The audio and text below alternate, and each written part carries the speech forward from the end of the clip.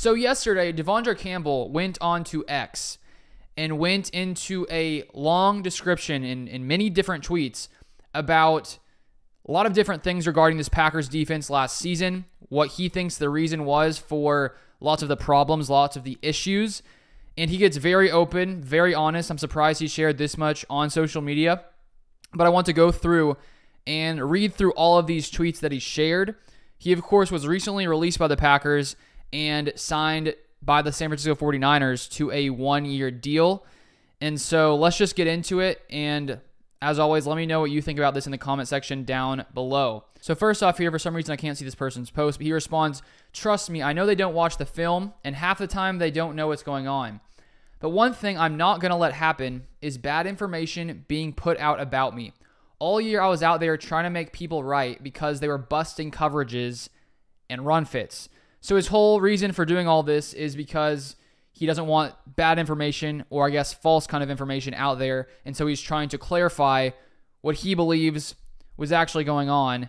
And then next, Andy Gilbert says, the more you talk, the more it seems like it was the DC, defensive coordinator, in confusion more than anything. He says, listen, man, there's so much I could say, but for the longest, I just kept it to myself and kept taking the blame. I don't work for the organization anymore, so anytime I see some false information, I'm going to correct it and tell the truth. If you don't want to hear the truth, sorry. So I guess he felt the freedom to really expose what he believes was going on because he's no longer on the Packers. Because of that, he's coming out and sharing his thoughts. And we did see, you know, back in December, he did come out and share that. I'll read the tweet from December while he was on the Packers, not going out of my not going out my way anymore and I'm not playing through injuries anymore because when bleep goes wrong, they always use it against you. I'm treating everyone accordingly and giving them the same energy they gave me. Focus on yourself and your mental 59. You owe it to yourself. So he said he was playing through injuries back then. Then Adrian Amos just responded with some eye emojis, that kind of like nervous, laughy emoji, whatever you call that. And then Devondre Campbell said, They mad at me for telling the truth, bro. Laughing emoji. I guess they like liars. I just can't do it won't be out here lying on my name. Then Thundercats12 says, Come on, dude, we loved you here and that you were part of the team, but why trash the Packers after you made 23 million in all pro? He says, why, you, why y'all keep saying I trash the Packers? I never once said anything negative about the organization. Best organization I've ever been a part of at this point, but it's some coaches I lost all respect for. So he's claiming that he's not going after the organization but seemingly the coaches, or some of the coaches. Then Robin Adams says, What changed from 2021 to 2022?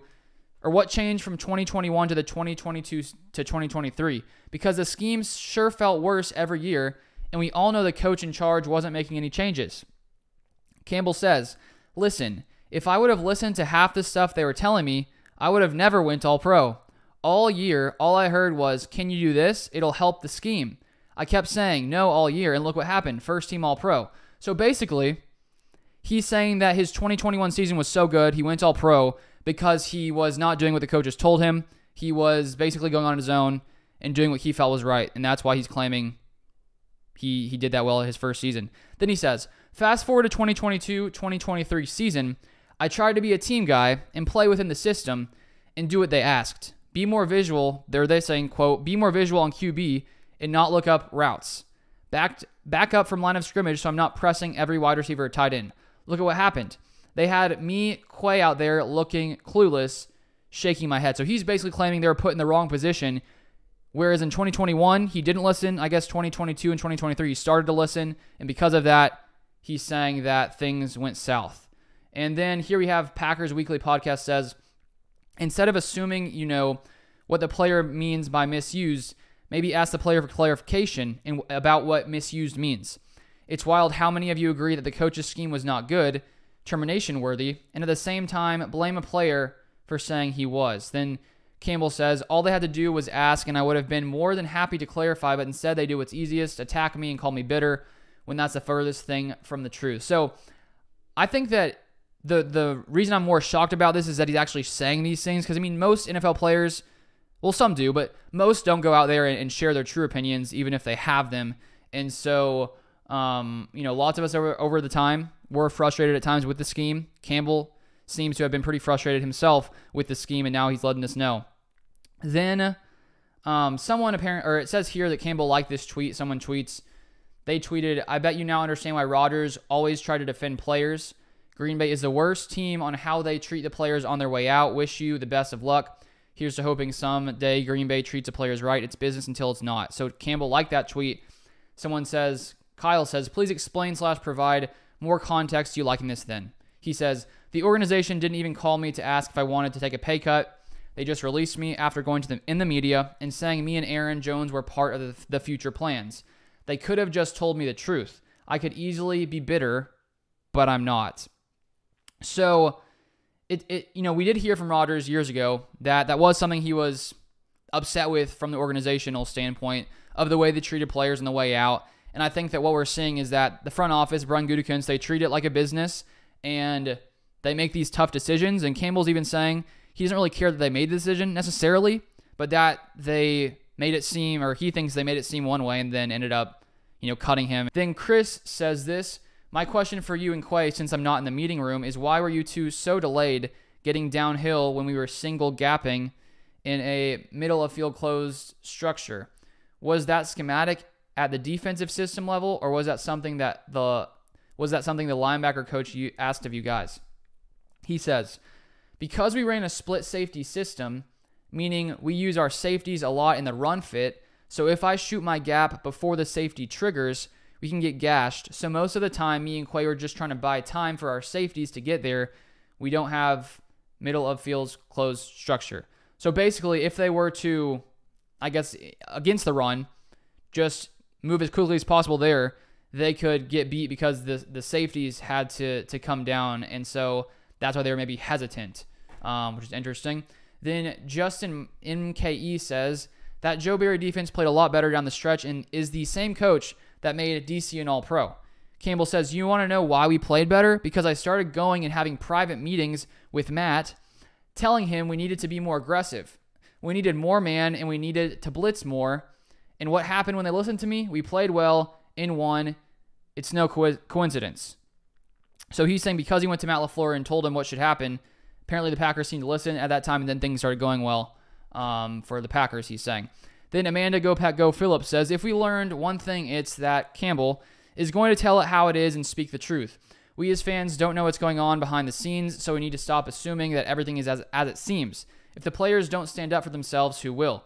Campbell says, All I know is the truth. I tried my best to help the organization win, but it's hard to win when you aren't willing to evolve when my coaches aren't willing to listen to the feedback that can make us better as a team, there isn't much I can do. All I can say is that I tried my best. So it sounds like for a, a long time of Campbell's time in Green Bay, he didn't agree with what was going on. And from that comment, that uh, when he says, when my coaches aren't willing to listen to feedback, seemingly they weren't listening to him. But I guess they did after a while when he went to Matt LaFleur and said we need to switch things up from his previous tweet. Then we're almost to the end of this, but Teddy Westside says this Don't care who you mad at. I love you, man. You're my kid's favorite player no matter where you play. Nothing but love and hopefully peace for you and your family. Be great.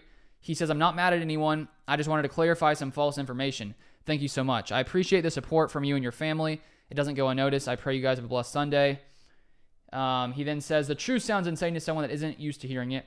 And then someone else says, Just know the majority of fans are on your side and wishing you the best moving forward. He says, I love all the fans that love me. The three years I spent in Green Bay were definitely special. And I appreciate all the support you guys have given me over the last three years. Hope you guys enjoy your Sunday.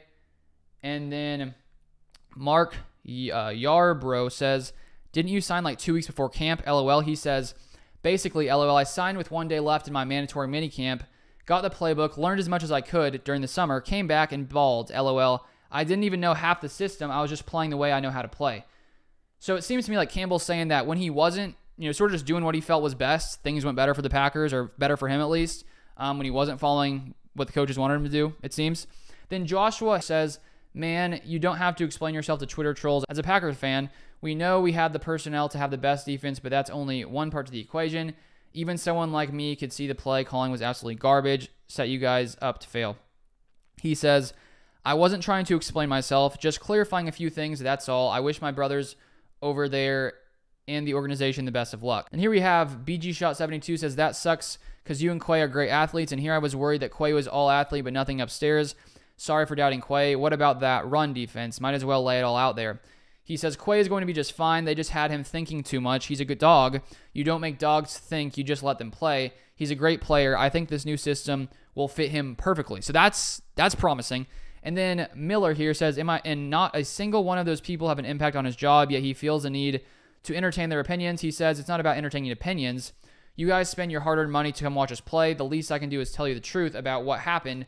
But if you don't like it, you're more than willing to block me so you don't see it. And so that's basically his whole thought process. And I think now when we look at the Packers and the time with Joe Barry and the fact that Matt LaFleur decided to let go Joe Barry, bring in Hafley, who is supposedly really good at explaining things to players and allowing them to play loose, play free. And it sounds to me, Campbell was saying when he was playing free and not basically hesitating and doing what the scheme taught, that things went better.